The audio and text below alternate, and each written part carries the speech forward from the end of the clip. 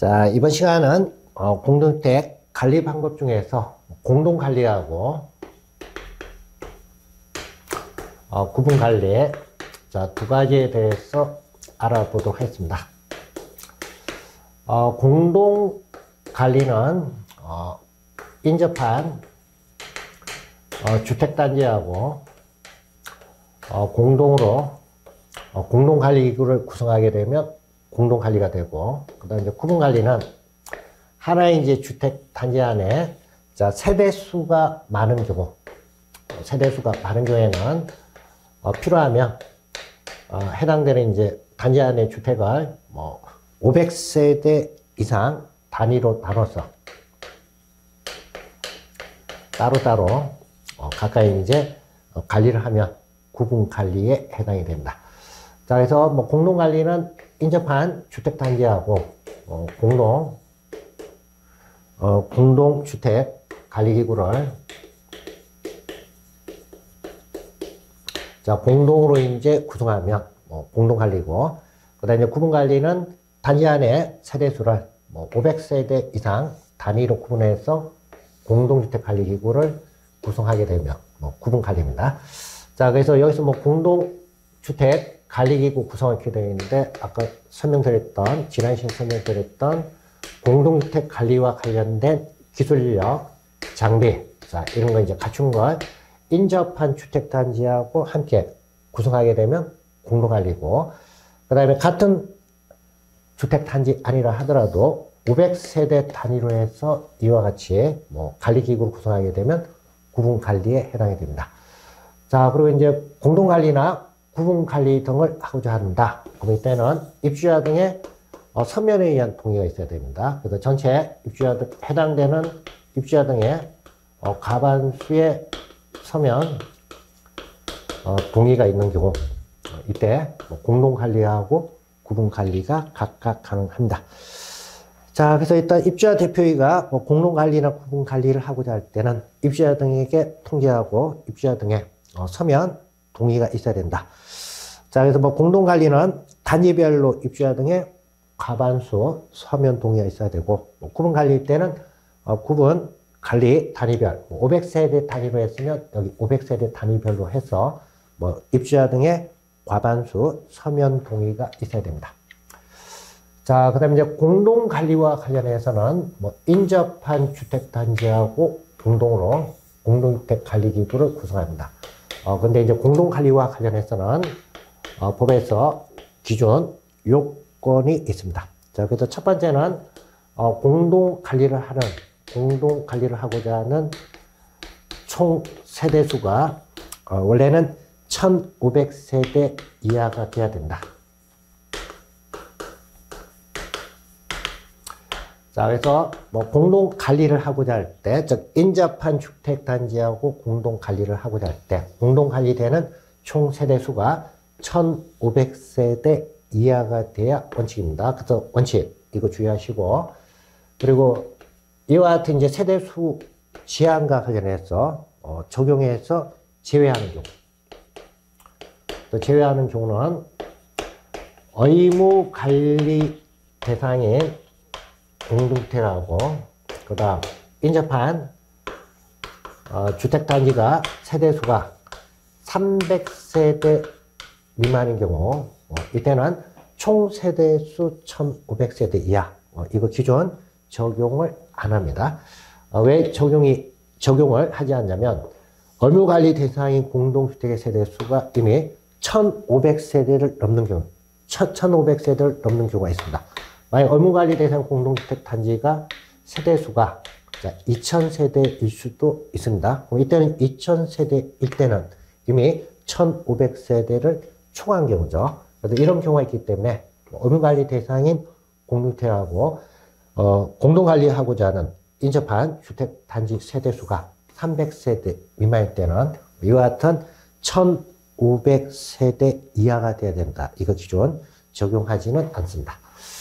그 다음에 이제 공동 관리를 하고자 할 때는, 자, 주택 단지하고 주택 단지 사이에, 어, 별개의 주택 단지로 인정이 되는 뭐 도로 등의 뭐 이와 같은 시설이 없어야 됩니다. 그래서 두 번째 보시면 공동주택 단지 사이에 어, 주택법에 따른 뭐 단지 구분 시설이 없어야 된다. 그래서 단지 구분 시설이 대표적인 게 도로, 뭐 고속도로나 철도 또는 뭐 폭 20m 이상인 일반 도로 뭐 이와 같은 시설이 있으면 별개의 주택 단위로 본다. 그 별개의 주택 단지에 해당되면 공동 관리가 공동 관리를 할 수가 없습니다. 자, 그래서 여기 이제 두 가지 기준이 어, 공동 관리할 때 적용되는 기준이 되겠습니다. 자, 그다음 이제 입주자 대표인은 뭐 공동택을 공동 관리 또는 구분 관리하기로 결정이 된 경우 이때 이제 관리 공동 관리 또는 구분 관리와 관련된 결정 내용을 관할 시장구조청장에게 통보를 하도록 되어 있습니다. 자, 그 다음 이제 공동주택 관리기구, 어, 공동주택 관리기구는 공용분해 유지, 보수, 관리와 관련해서 공동주택 관리기구를 구성해야 된다. 그 공동주택 관리기구 구성은 기술력하고 장비를 갖추는 게 관리기구 구성입니다. 어, 그리고 이제 공동관리하고 구분관리를 할 때는 공동관리는 공동관리대로 공동주택 관리기구 구성하고 구분관리하면 구분관리 단위별로 해서 각각 구성을 하도록 되어 있습니다. 자, 그 다음 이제 혼합주택의, 혼합주택 단지의 관리입니다. 어, 혼합주택 단지는 하나의 이제 단지 안에, 어, 분양주택하고,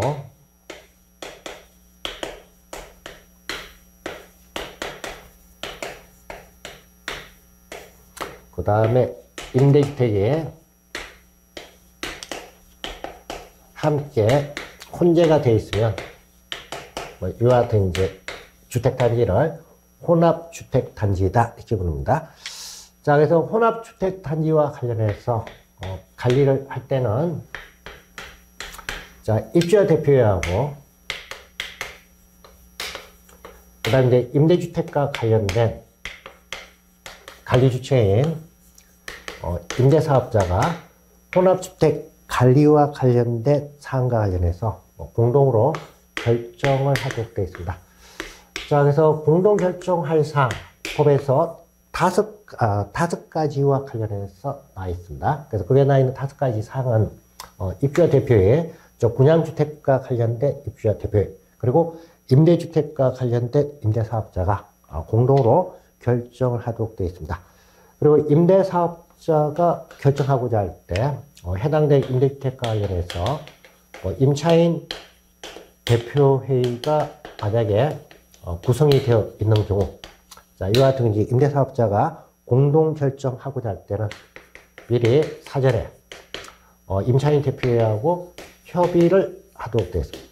자, 그래서 임대주택에서는 임차인 대표회의가 직접 결정하는 게 아니고 임대사업자가 결정하도록 되어 있습니다. 자, 그리고 공동 결정의 항목 1번하고 2번. 첫 번째는 관리 방법 결정하고 관리 방법 변경. 그리고 주택관리업자와 관련해서는 선정과 관련된 사항. 이 부분은 공동 결정하도록 되어 있습니다. 그 다음에 세 번째, 장기 수성 계획의 조정.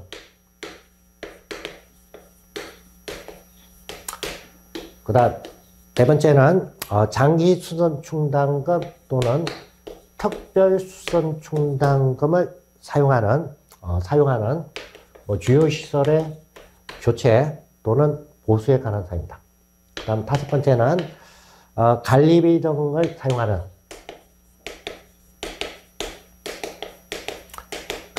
관리비, 등을 사용해서 집행하는 각종 공사하고 용역에 관한 사항입니다.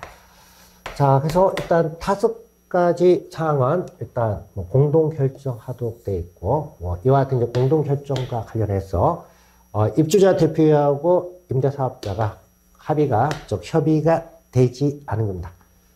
자, 그래서 공동 결정할 사항과 관련해서 합의가 되지 않은 경우, 어, 이때는 어, 법률이 법률에서 정하고 있는 규정에 따라 어, 결정하도록 되어 있습니다. 그래서 이와 같은 경우를 어, 강제 어, 강제 결정이다 이렇게 표현합니다.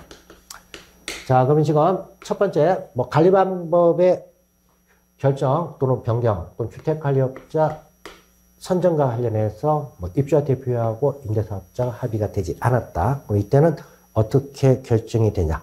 어, 이때는 해당 혼합주택단지 공급면적, 즉 주택의 공급 면적을 균해서 공급 면적의 2분의 1을 초과하는 어, 면적을 관리하는 쪽이 결정하도록 되어 있습니다.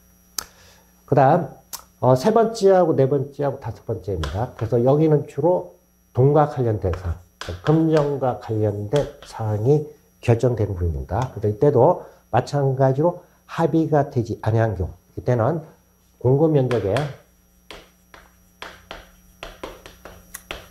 어, 3분의 2 이상을 어, 관리하는 쪽이 결정하도록 되어 있습니다. 자, 그래서 일단 두 가지 방식이 있다 주의하시고 시험 관련해서는 여기 표현 이 부분 어, 첫 번째하고 두 번째는 공급 면적 2분의 1을 초과 초과해서 관리하는 쪽이고 어, 세 번째, 네 번째, 다섯 번째는 공급 면적 3분의 2 초과가 아니고 3분의 2 이상입니다. 자, 그래서 이 부분 복규정 좀 주의 있게 구별을 하셔야 됩니다. 자, 그래서 일단 관련된 사항 봐두시고, 그 다음에 이제 지금 앞에 나 있는 뭐 다섯 가지 사항과 관련해서, 어, 지금 이제 결정을 하고자 할 때, 어, 4번하고 5번, 즉, 어, 장기 수선 충당금이나 또는 특별 수선 충당금을 사용해서 뭐 주요 시설의 교체나 보수 또는 관리비 등을 사용하는 각종 공사 등과 관련해서는 여기 이제 두 가지와 관련해서는 법에서 정하고 있는 뭐 강제 결정이 있다 하더라도 그걸 적용하지 않고 각자 사용을 할 수가 있습니다. 여기서 이제 각자 사용한다는 건 어, 분양주택하고 임대주택이 각각 개별동으로 해서 나눠져 있는 경우.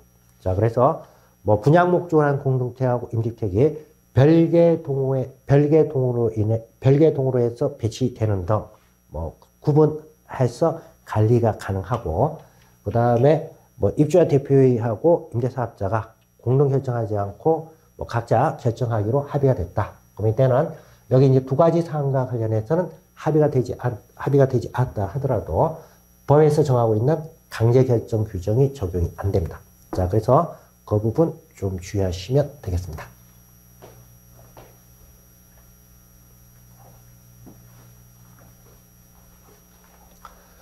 자, 그 다음 이제 의무 관리 대상 공동주택 전환이 나와 있습니다.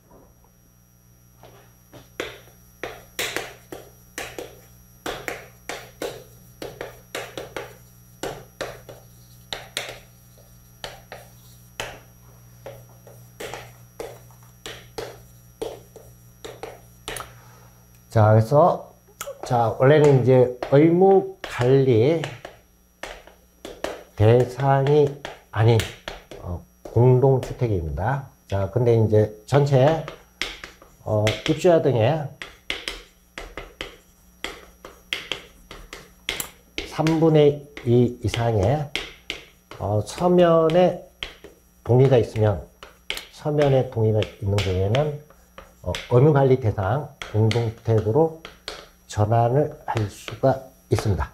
자, 그러면 이제 의무관리 대상이 아닌데도 불구하고 뭐 전체 입주자 등의 3분의 2 이상의 서면에 의한 뭐 의무관리 전환 대상 관련해서 서면 동의가 있는 경우 이때는 의무관리 대상 전환 공동주택으로 각각 인정이 됩니다. 자, 그러면 이와 같이 뭐 의무관리 대상 공동주택으로 전환을 하게 되면 어, 전환 의무관리 대상과 의무관리 대상 전환이 되게 되면 의무관리 대상 공동주택에 해당되는 걸 관할 시장 구조청장에 각각 전환 신고를 하도록 되어 있습니다. 그래서 이때 이제 전환 신고는 어, 집합 건물 소유 및 관리, 관리를 하다 보면 일반적으로 이제 줄여서 집합 건물법인데 뭐 집합 건물법상 관리인이 관리인이 관할 시장 군수구청장에게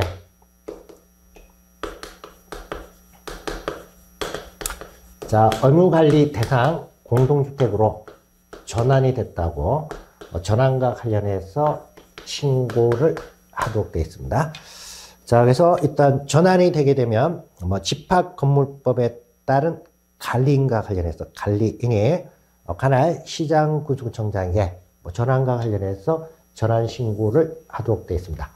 자, 그리고 관리인이 어, 전환 신고를 하지 않고 있다. 그럼 이때는 뭐 입주자 등의 어, 어, 입주자 등의 10분의 1 이상의 어, 연서로 해서 각각 뭐 시장구조청장에게 어, 연서에 의해서 신고하는 것 어, 이것도 가능하다 이렇게 되어 있습니다. 자 그래서 뭐 업무관리 대상 아닌 공동택이 업무관리 대상 공동택으로 전환을 한 경우 어, 이때 이제 전환과 관련해서 신고하고 전환에 관한 신고는 집합건물법에 따른 관리인이 원칙적으로 전환과 관련해서 신고를 하도록 되어 있습니다. 어, 그리고 이제 신고를 관리인이 하지 않으면 입주자 등의 10분의 1 이상이 연서, 뭐 연서라는 것 성명을 쭉 뭐 순서대로 해서 기재하면 연서입니다. 그 연서하는 방법에 의해서 각각 신고하는 게 가능하다 이렇게 되어 있습니다.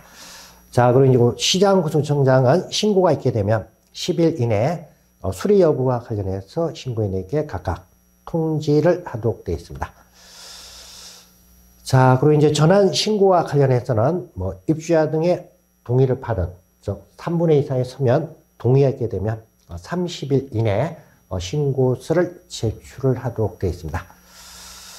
자, 그리고 이제 업무관리 대상 전환, 전환이 되게 되면 어, 입주자 대표회의를 구성하도록 되어 있습니다. 입주자 대표회의 구성과 관련해서는 어, 업무관리 대상 전환에 따른 공동주택 관리 규약을 새로 제정하고 어, 제정된 내용을 시장군수청장한테 신고하도록 되어 있습니다. 그리고, 그리고 그 같은 신고가 수리가 되게 되면 어, 수리된 날로부터 어, 3개월 이내에 어, 입주자 대표회의를 구성하도록 되어 있습니다.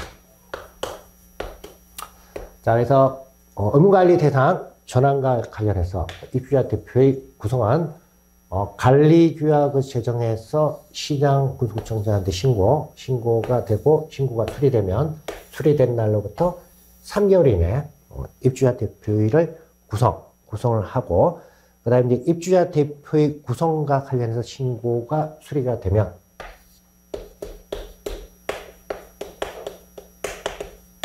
뭐 이때도 신고가 수리된 날로부터 3개월 어, 이내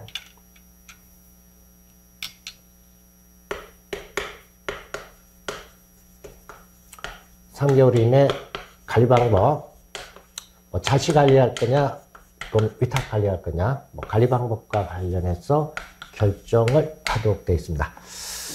자, 그래서 뭐 관리 방법 이제 결정 이 부분 어, 입주자 대표의 구성 신고가 수리되면 수리된 달로부터 3개월 이내 하도록 되어 있습니다. 자, 그리고 이제 의무관리 대상 전환 공동택 관련해서 뭐 위탁 관리할 걸 결정했으면 어, 위탁 관리와 관련해서 어, 주택 관리업자 선정은 입주자 대표의 구성 신고가 수리된 날로부터 6개월 이내 한다 이렇게 되어 있습니다. 자 그리고 뭐 그래서 일단 관리 방법 결정하고 어, 주택관리업 어, 위탁 관리 하기로 하게 되면 어, 주택관리업자 선정입니다. 그러니까 선정은 어, 신고 수리가 되고 나서 6개월 이내 6개월 이내 어, 주택 관리업자 각각 선정을 하도록 되어 있습니다.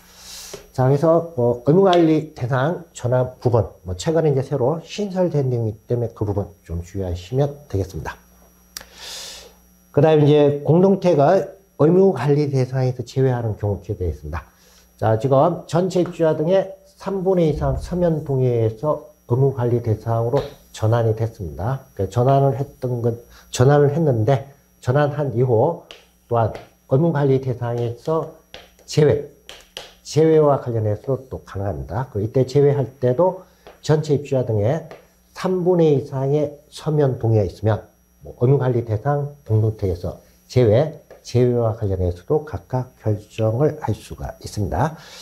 자, 그래서 뭐 제외가 되게 되면 어, 3분의 이상 서면 동의에서 제외가 결정이 되면 입주자 대표 회장이 어, 시장 군수구청장에게 의무관리 대상 공동주택 제외와 관련해서 신고. 이때 제외 신고는 뭐 입주자 대표의 회장이 하도록 되어 있습니다. 그 제외 신고 있게 되면 마찬가지로 10일 이내 신고 수리 여부에 대해서 각각 통지를 하도록 되어 있습니다. 자, 그래서 일단 뭐 의무관리 대상 아닌 공동택의 어, 의무관리 대상 공동택 전환과 관련된 부분, 어, 이 부분 어, 새로 재정 새로 신설된 내용으로서 어, 여러분들 이제 좀 정리를 해 두셔야 됩니다. 자, 그 다음 이제 관리 업무 이관과 관련해서 나와 있습니다. 어, 사업 주체에 이제 직접 관리 기능인데, 어, 사용검사 받은 이후, 뭐, 대상이 이제 공동택에 입주를 합니다. 근데 이제 입주 관련해서 입주 예정장에 어, 가반수가 입주하기 전까지는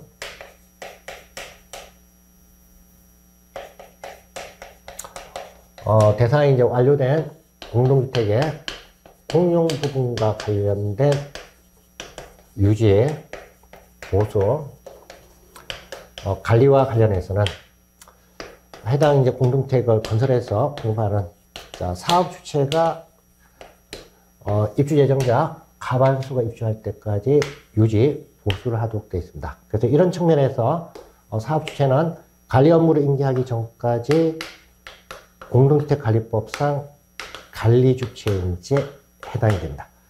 그리고 입주 예정자 가반수가 입주를 한 경우 이때는 입주 예정자에게 어, 관리와 관련해서 관련된 사항을 통지를 하고 어, 공주택을 어, 자치관리 또는 자, 위탁 관리할 걸 어, 요구를 하도록 되어 있습니다. 자, 그리고 뭐 자치관 어, 자치관리나 공동 아, 위탁관리하고 요구하고 그리고 또한 입주 예정자 가반수가 입주하면 어, 입주자 대표율을 구성하도록 되어 있습니다. 자, 그 다음에 이제 관리비 예치금의 징수와 관련해서 나와 있습니다. 어, 지금 입주 예정자 가반수가 입주할 때까지 공용 부분에 대한 유지 보수 관리는 사업 주체가 하도록 되어 있고 이때 이제 사업 주체는 뭐 이와 관련된 비용과 관련해서 그 비용을 어, 주택 소유자, 즉 입주 예정자한테 징수를 할 수가 있습니다. 그래서 이때 이제 징수되는 금액을 어, 관리와 관련된 비용이기 때문에 관리 어, 관리비 예치금이다. 자 이렇게 법에서 규정되어 있습니다. 그래서 관리비 예치금과 관련해서는 입주 예정자 가반수가 입주할 때까지 어, 사업 주체가 직접 관리할 때는 입주 예정자하고 관리 계약을 체결하고 관리 계약에 따라서 관리비 예치금을 각각 징수를 하도록 되어 있습니다. 자, 그래서 뭐 관리비 예치금 일단 용어 이 부분 좀 주의를 하셔야 됩니다.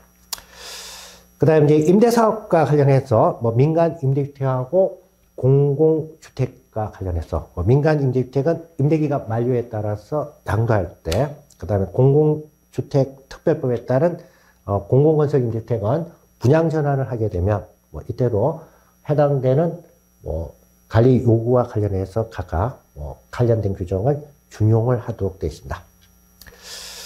그 다음에 이제 입주자 대표의 구성과 관련해서 나와 있습니다. 그래서 가반수가 입주하게 되면 사업주체가 뭐 자치 관리 또는 위탁 관리하고 요구하고 이와 같은 요구가 있게 되면 3개월 이내 어, 입주자 대표회의를 구성을 하도록 되어 있습니다. 자, 그래서 최초 입주자 대표의 구성, 어, 사업 주체로부터 관리 요구 받게 되면 몇 개월 이내 해야 된다. 3개월 이내 입주자 대표회를 구성을 하도록 되어 있습니다. 자, 그리고 이제 입주자 대표회가 구성된 이후 어, 입주자 대표회 회장은 어, 공동택 관리 방법과 관련해서 결정하도록 되어 있습니다.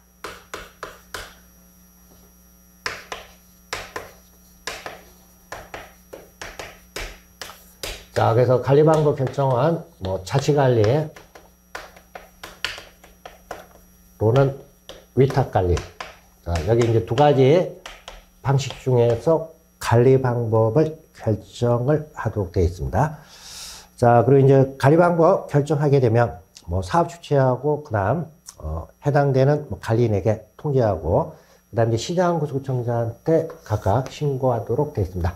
그래서 자치 관리를 한 경우에는 자치 관리 기구 구성원 어, 관리 사무장 선임하고 기술력하고 장비 갖춘 것 시간이 걸리니까 이거는 이제 6개월 이내 자치 관리 기구를 구성을 하면 됩니다. 그 다음에 위탁 관리를 한 경우에는 주택관리업자 선정해서 선정된 주택관리업자 자, 이걸 사업 주체한테 그냥 통계하면 뭐 관리 방법 결정 절차 끝납니다. 자 그래서 그 부분 좀 주의하시고 그 다음 뭐 관리 방법 결정 등이 되게 되면 30일 이내 시장구조청장한테 어, 신고와 관련해서 신고서 제출을 하도록 되어 있습니다.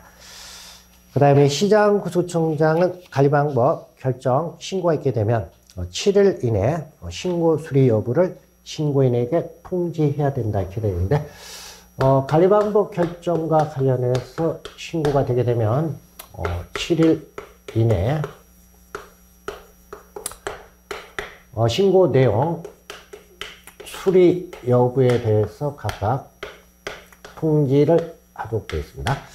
어, 여기서 이제 날짜 7일 이것 좀 주의하시고 대부분 다른 경우에는 신고 수리 여부에 대한 통지가 10일입니다. 근데 관리 방법 결정에 대한 신고와 관련해서는 수리 여부 통지와 관련해서는 10일이 아니고 7일로 되어 있습니다. 그래서 이 부분 뭐 다른 신고 수리 통지와 관련해서 날짜가 좀 다르기 때문에 이 부분은 좀 주의를 하셔야 됩니다. 그 다음에 이제 사업 주체가 주택 관리업자를 선정한다 이렇게 되어 있는데 어, 입주자 대표회의가 구성이 되고 뭐 입주자 대표회의가 구성되면 관리 방법 결정해서 통지를 해줘야 되는데 입주자 대표회의가 구성된 이후 어, 관리 방법 결정과 관련해서 자 통지가 없구나 또는 관리 방법 관리 방법 통지가 자치 관리한다고 통계 왔습니다. 이때는 6개월 이내 자치관리 기구를 구성해야 되는데 6개월 뭐 이내 자치관리 기구가 구성되지 않았다. 자, 그러면 이때는 사업 주체가 계속 뭐 공용물에 대해서 관리를 할 수가 없습니다. 그래서 이때는 사업 주체가 별도로 어, 주택관리업자를 선정을 해서 어, 사업 주체가 공동주택 공용분해 관리에서 각각 뭐 업무를 어, 그만, 어, 업무를 이제 정리하도록 되어 있습니다. 그래서 이때는 사업 주체가 주택관리업자 선정하고 선정된 주택관리업자 관련된 사항은 입주자 대표한테 각각 알려주도록 되어 있습니다. 자, 그래서 뭐 사업 주체가 이제 주택관리업자 선정하는 경우 여기 두 가지 경우가 각각 선정하는 경우다. 그 다음에 관리 업무 인계와 관련해서 나와 있습니다. 뭐 사업 주체가 관리 업무를 인계하거나 뭐 업무관리 대상 전환, 공동주택과 관련해서는 관리인이 관리 업무와 관련해서 인계를 하도록 되어 있습니다. 그래서 이때 이제 인계와 관련해서는 어 1개월 이내 그래서 입주자 대표의 회장으로부터 주택관리업자 선정 통지를 받은 경우 또는 어 자치관리기구가 구성이 된 경우 그리고 뭐 업무관리 대상 전환과 관련해서는 주택 관리업자가 선정된 경우 이때는 1개월 이내 각각 업무를 인계하도록 되어 있습니다. 자, 그 다음에 이제 공동택의 관리 주체가 변경이 된 경우 이렇게 되어 있습니다. 어, 관리 주체가 이제 변경된다는 건